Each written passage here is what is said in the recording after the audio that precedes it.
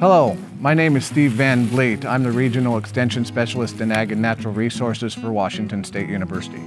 Today I want to talk to you about plant and weed identification. The first and most important part when you're wanting to identify a weed is to first get a picture of that weed or plant.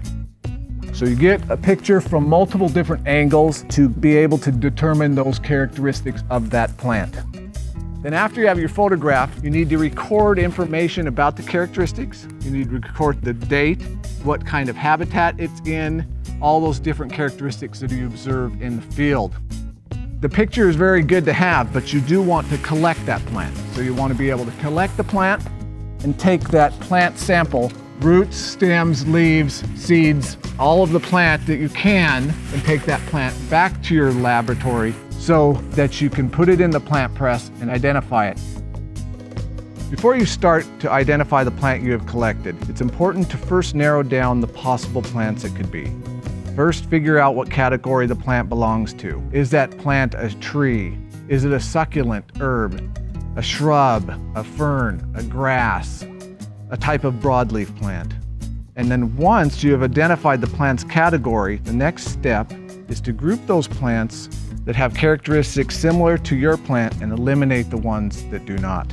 One way to do this is the use of manual or field guides to identify that weed or plant by its flower color. Once you get it narrowed down to the family, you can determine what family that weed or plant belongs to.